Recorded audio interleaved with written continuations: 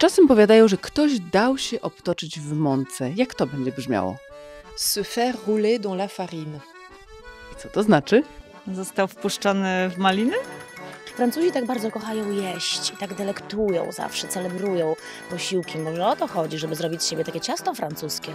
Ktoś dał się spanierować, zawinąć, usmażyć. Wydaje mi się, że to może ktoś, kto dał się oszukać w jakiś sposób.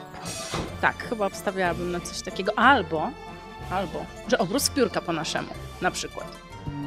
Został zdominowany przez kogoś? Uszkodził się chyba. Ja bym powiedziała, że dał się zrobić w bambuko. To znaczy dać się komuś oszukać, dać się nabrać.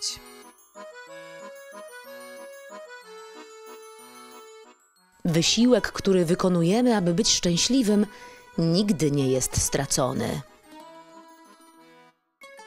Rozwój partnerstwa w Europie, współpraca stowarzyszeń.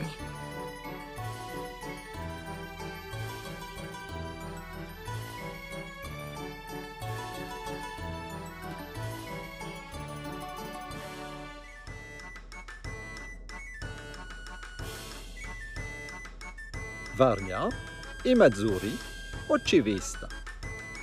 Warmia i Mazury oczywista. Warmia i Mazury oczywiste.